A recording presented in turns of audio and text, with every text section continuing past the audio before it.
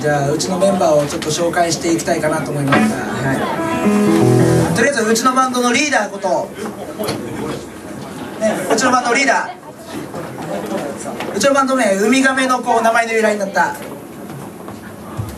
ウミガメこと溝内孝之。ドラムソロどうぞ。